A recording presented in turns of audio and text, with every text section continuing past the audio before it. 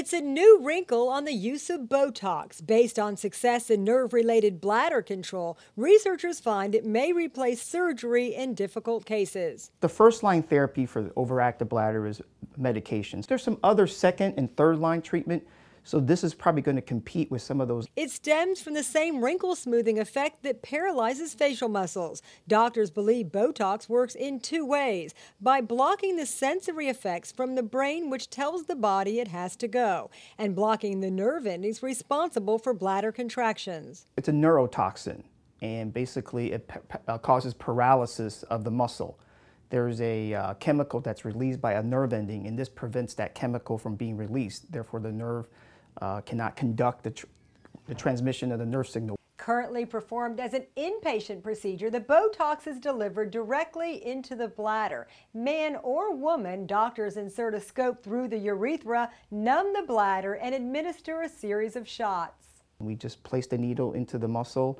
and we inject equal amount of uh, Botox throughout the bladder. So the, the, total is what we call 200 units of Botox. Studies are now looking at replacing injections with one infusion. Either way, the Botox should iron out the problem. We hope to decrease the urgency, frequency, accidents, and also maybe increase their bladder capacity. So that that's our hope. So we hope that patients improve in one, all, or some of these uh, symptoms. As in all uses of Botox, the effect is temporary and needs repeating. For Lee Memorial Health System, I'm Amy Osher.